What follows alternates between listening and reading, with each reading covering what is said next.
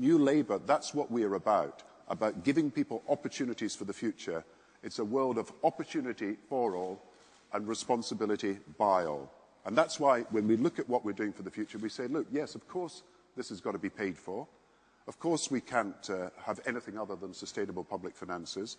And that's why we had to make a, a big decision uh, yesterday. I don't like uh, putting up uh, taxes. In fact, I cut the basic rate of income tax from 22 pence uh, to 20 pence.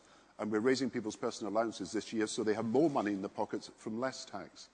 But the point that I think we've got to accept is if we're going to give people the opportunities they need for the future, then there's got to be a contribution made by those uh, who have uh, the most and who have gained the most over the, last, uh, over the last few years. This is not taxation for its own sake, it's tax for a purpose.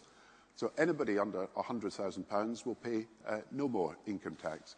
But people above £150,000 uh, will pay more and contribute uh, to what I think is a great project for our country, and that is to help young people get the opportunities that are necessary to build a stronger economy for the future, to move into the low-carbon industries that matter, and therefore to create a stronger sense of a community working together.